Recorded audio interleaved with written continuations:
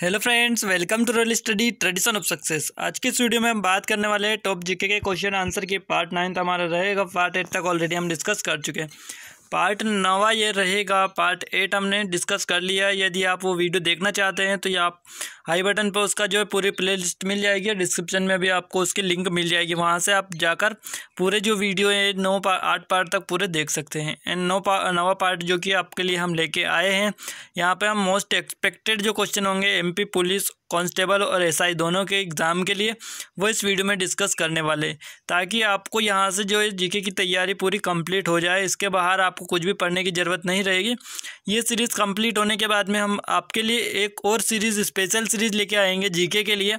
जहाँ से अगर आप वो भी कंप्लीट कर लेते हैं पूरी टॉपिक वाइज लेके आएँगे, यदि वो कंप्लीट कर लेते हैं तो बिल्कुल आपको और कुछ पढ़ने की ज़रूरत नहीं रहेगी जीके में। तो यहाँ पे जल्दी से यदि आपने अभी तक चैनल को सब्सक्राइब नहीं किया जल्दी सब्सक्राइब कर लीजिए और बेल आइकन को प्रेस कर दीजिए, जिससे मैं जो भी नया वीडियो डालूँगा, उसका नोटिफिकेशन आपको सबसे पहले आपके मोबाइल पर मिल जाएगा। एंड ये बिल्कुल निःशुल्क है, इसका कोई भी चार्ज आपका नहीं लगेगा। तो जल्दी सब्सक्राइब कर लीजिए, क्योंकि यहाँ पे आपको मिलने वाले एमपीएसआई और कांस्टेबल से रिलेटेड ढेर सारे स्टडी मटेरियल आपको यहाँ पे मिलने वाला है क्योंकि हम अभी आ, हिंदी और जो कि आपके लिए लेके आ रहे हैं हिंदी की क्लास और जी साइंस की जी, और जीके की दोनों की अभी चल रही है।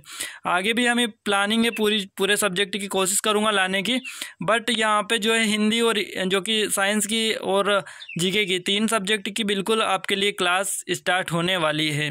तो जल्दी से सब्सक्राइब कर लीजिए क्योंकि यहाँ पर आपको पूरी तैयारी करवाई जाएगी एमपी पुलिस और कॉन्स्टेबल दोनों की एग्ज़ाम के लिए। ओके तो चलिए स्टार्ट करते हैं।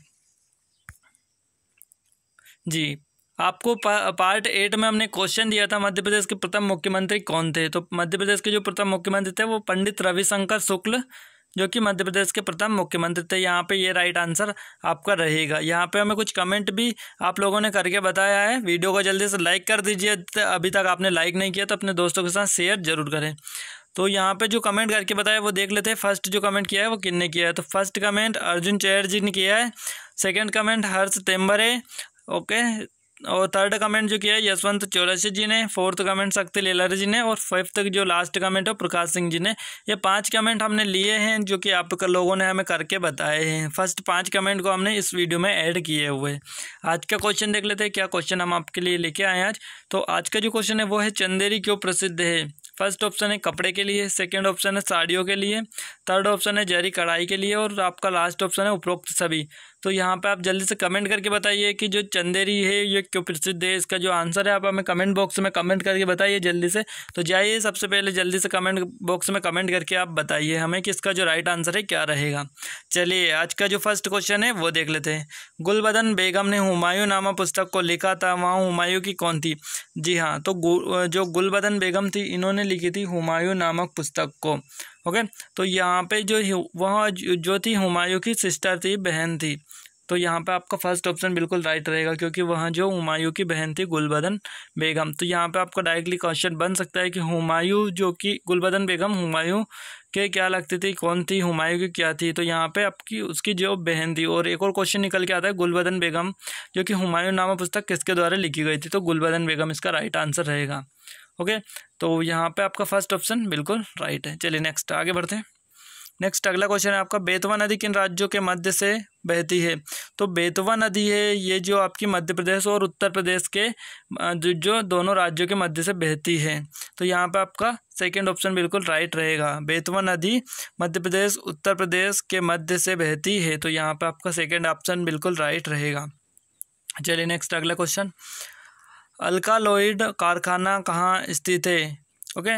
अल्कालोइड जो कारखाना है ये अल्कालोइड इसको बोला जाता है, जो कारखाना है, ये आपका नीमच में है। सेकंड ऑप्शन बिल्कुल आपका राइट आंसर रहेगा, जो कि अल्कोइड जो कारखाना है, ये नीमच में आपका स्थित है। नेक्स्ट क्वेश्चन सतपुड़ा राष्ट्र उद्यान कब स्थापित हुआ था? तो जो सतपुड़ा राष्ट्र उद्यान है, ये होशंगाबाद में स्थित है और ये जो हुआ था, ये 1981 में इसकी स्थापना हुई थी।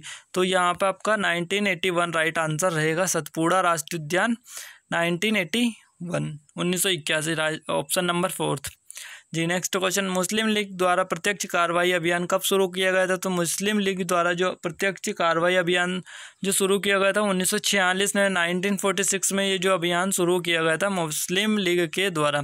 तो यहाँ पे आपको ये याद रखना है, बहुत बार एग्ज़ाम में पूछा गया है। नेक्स्ट है विश्व बैंक कब बनाया गया था? तो विश्व बैंक जो बनाया गया था, नाइनटीन फोर्टी फोर में यहाँ पे आपका राइट आंसर देके रखा है व्यापम के द्वारा। बट यहाँ पे कभी कभी क्या है कहीं कहीं आपको देखने को मिलेगा, नाइनटीन फोर्टी फाइव भी यहाँ पे आपका दिया जाता है। कई कोई कोई सी बुक्स यहाँ पे बहुत सारी बार देखने को मिलता है, नाइनटीन बट यहाँ पर जो व्यापम ने इसका जो राइट आंसर दे रखा है, वो नाइनटीन दे रखा है। तो यहाँ पर आप देख लीजिए ओके तो आपको इसीलिए हमने क्लियर कर दिया है। आप बाद में बोलते हैं कि नाइनटीन इसका राइट आंसर है, इसलिए हमने आपको बता दिया है कि विश्व बैंक कब बनाया गया था? तो यहाँ पे व्यापम का कहना है कि उन्नीस में बनाया गया था। चलिए नेक्स्ट जार्डन की राजधानी क्या है? जार्डन की जो राजधानी है वो आपका अम्मान है, जार्डन की राजधानी। जी हाँ अम्मान जो कि जार्डन की राजधानी है। नेक्स्ट खजुराहो मंदिर का निर्माण पूरी तरह से बलुवो पत्थर से किया गया था, जो वर्तमान के रिक्त स्थान से लाया गया था तो। जी हाँ खजुराहो के जो मंदिर है, इनका निर्माण पूरी तरह से बलुआ पत्थर से किया गया था। और जो कि वर्तमान में पन्ना से लाया गया था। तो यहाँ पर पन्ना बिल्कुल आपका राइट आंसर रहेगा सेकेंड ऑप्शन चलिए नेक्स्ट सांझा के पारंपरिक लोकगीत किसके द्वारा गाए जाते हैं? तो जो सांझा है, मालवा का लोकगीत इसको बोला जाता है। तो सांझा जो पारंपरिक लोकगीत है, ये युवा लड़कियों के द्वारा गाया जाता है। यंग गर्ल्स जो होती है, उनके द्वारा ये गीत गाए जाते हैं। तो यहाँ पर थर्ड ऑप्शन बिल्कुल राइट रहेगा आपका। चलिए नेक्स्ट मध्य प्रदेश सरकार ने मध्य प्रदेश कृषि लागत और विपणन आयोग का गठन कब किया था? तो मध्य प्रदेश सरकार के द्वारा जो गठन किया गया था, कृषि लागत और विपणन आयोग का, ये 2017 में जो कि मध्य प्रदेश सरकार के द्वारा किया गया था। तो यहाँ पर आपको ये याद रखना है कि जो ये गठन है, इसका कृषि लागत एवं विपणन आयोग का जो कि 2017 में जो कि मध्य प्रदेश सरकार द्वारा किया गया था। नेक्स्ट नारायण श्रीधर बेंद्र प्रसिद्ध रिक्त स्थान थे। तो नारायण जो कि श्रीधर बेंद्र थे, वो कौन थे? प्रसिद्ध कौन थे? तो वो प्रसिद्ध पेंटर थे ओके चित्रकार थे वो? क्या थे? चित्रकार थे। तो यहाँ पर आपको ये याद रखना है, नारायण श्रीधर बेंद्र जो कि प्रसिद्ध पेंटर थे या फिर चित्रकार इनको बोला जाता था। तो वो एक चित्रकार थे, बहुत बार एग्ज़ाम में पूछा गया भी है। आपके यहाँ पे जो क्वेश्चन है, जेल प्रहरी में भी पूछा गया था नेक्स्ट टाइम जो जो एग्ज़ाम हुई थी उसमें। तो यहाँ पर आप ये याद रखिए, बहुत बार ये भी रिपीट हो चुका है। नेक्स्ट क्वेश्चन कितने वन क्षेत्रीय मंडलों में मध्य प्रदेश को विभाजित किया गया है? तो जो मध्य प्रदेश को विभाजित किया गया है, वन क्षेत्रीय मंडलों में, वो सोलह यहाँ पे आपका बिल्कुल राइट आंसर रहेगा सिक्सटीन जी हाँ। जी सिक्सटीन वन क्षेत्रीय मंडलों में मध्य प्रदेश को विभाजित किया गया है। तो यहाँ पर आप ये याद रखिए सिक्सटीन आपका बिल्कुल राइट आंसर रहेगा। नेक्स्ट है छः सौ ईस्वी पूर्व से तीन सौ पच्चीस ईस्वी पूर्व के महाजनपद काल के दौरान बौद्ध और जैन साहित्य में कितने महाजनपद थे? तो 600 ईस्वी से छः तीन सौ पच्चीस ईस्वी के मध्य में जो महा, जनपद काल के दौरान जो बौद्ध और जैन साहित्य के जो महाजनपद थे, वो सोलह आपका बिल्कुल राइट आंसर रहेगा सेकेंड ऑप्शन सोलह महाजनपद थे टोटल नेक्स्ट निम्न में से कौन से मेले में जमात नमक भक्तों का समूह विश्व भर से आता है?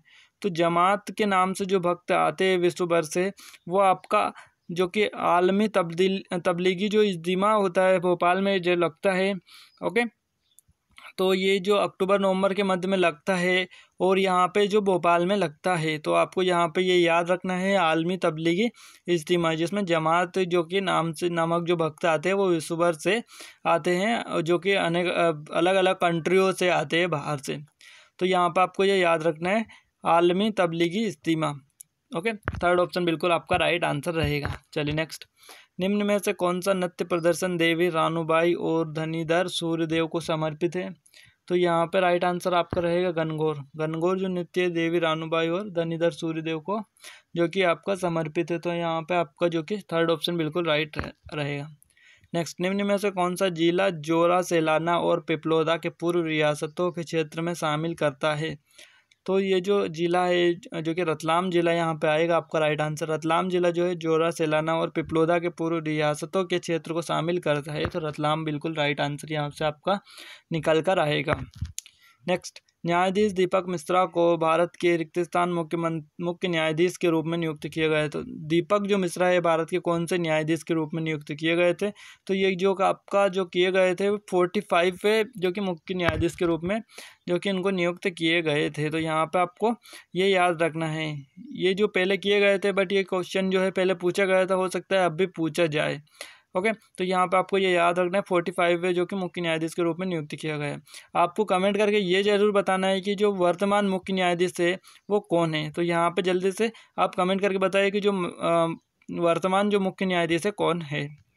चलिए नेक्स्ट आगे बढ़ते हैं। शंकर दयाल शर्मा, भारत के कौन से राष्ट्रपति थे? तो शंकर दयाल शर्मा, जो भारत के नौवे राष्ट्रपति थे, नाइन्थ राष्ट्रपति थे शंकर दयाल शर्मा, जो कि भोपाल से संबंधित थे। ओके तो यहाँ पर आपको ये याद रखना नौवे राष्ट्रपति वो भारत के थे। नेक्स्ट, रीवा पन्ना पठार, मध्यवर्ती पहाड़ी इलाका के कौन से क्षेत्र में स्थित है? तो ये जो रीवा पन्ना पठार है, ये पहाड़ी इलाका के, जो कि उत्तर पूर्वी जो आपका क्षेत्र है, उसमें जो कि स्थित है। तो रीवा का पन्ना जो पठार है उत्तर पूर्वी जो कि पहाड़ी इलाकों में स्थित है, जो कि उत्तर पूर्वी क्षेत्र इसको बोला जाता है तो यहाँ पे स्थित है रीवा पन्ना का पठार तो यहाँ पे आपको ये याद रखना है, north eastern. Next Madhya Pradesh का कौन सा क्षेत्र अवंती के महाजनपद से जुड़ा हुआ है? तो अवंती के जो महा जनपद से जुड़ा हुआ क्षेत्र है, वो है आपका, देखिए बघेलखंड भी नहीं है, बुंदेलखंड भी नहीं है। और यहाँ पे मालवा जो है, ये अवंती से जुड़ा हुआ है, क्योंकि अवंती जो कि मालवा के अंतर्गत ही आती है तो यहाँ पर मालवा आपका बिल्कुल राइट आंसर रहेगा। चलिए नेक्स्ट किस वर्ष में ब्रिटिश ने नागपुर राज्य को अपने अधीन कर लिया था, जिसमें दक्षिण पूर्वी मध्य प्रदेश भी शामिल था? तो जो ब्रिटिश ने नागपुर को अपने अपने अधीन कर लिया था तो वो अठारह सौ तिरपन में किया था एटीन में, जो कि अंग्रेज़ों ने नागपुर को अपने राज्य में अधीन कर लिया था अठारह सौ तिरपन में। तो यहाँ पर अठारह आपका बिल्कुल राइट आंसर रहेगा। नेक्स्ट तुकोजीराव प्रथम की मृत्यु किस वर्ष में हुई थी? तो तुकोजीराव जो थे, उनकी मृत्यु जो कि सत्रह सौ आपके तिरपन में हुई थी, ओके? तो जो तुकोजीराव प्रथम की मृत्यु सत्रह सौ तिरपन में हुई थी, यहाँ पर आपको ये याद रखना है। नेक्स्ट किस ज़िले में जनवरी फरवरी के महीने में रामलीला का मेला का आयोजन किया जाता है? तो आपको पता होगा, जनवरी फरवरी के माह में जो रामलीला का जो मेला आयोजित किया जाता है, वो ग्वालियर में किया जाता है। उम्मीद करता हूँ आपको ये ज़रूर पता होगा, क्योंकि यहाँ पे ये बहुत बार जो कि एग्ज़ाम में पूछा गया है, यदि आपने इस पे, इससे पहले भी व्यापम की कोई सी भी एग्ज़ाम दी है तो यहाँ पे इसका राइट आपको आंसर पता ज़रूर होगा, क्योंकि ये बहुत बार जो कि क्वेश्चन एग्ज़ाम में आता है। तो यहाँ पे ग्वालियर आपका राइट आंसर रहेगा। नेक्स्ट चचाई जलप्रपात किस ज़िले में स्थित है? तो चचाई जो जल प्रपात है, वो आपका रीवा जी, की ज़िले में स्थित है। ओके, चचाई जलप्रपात रीवा ज़िले में स्थित है तो रीवा यहाँ से आपका राइट आंसर है। नेक्स्ट है, पेरियार राष्ट्रीय उद्यान किस राज्य में स्थित है? पेरियार जो राष्ट्रीय उद्यान है, वो केरल में स्थित है। तो यहाँ पर यदि आप राष्ट्रीय उद्यान को ट्रिक के माध्यम से याद करना चाहते हैं, भारत के जो सभी राज्य राष्ट्रीय उद्यान है, उनको हमने बहुत ही शानदार ट्रिक के माध्यम से बताया गया है।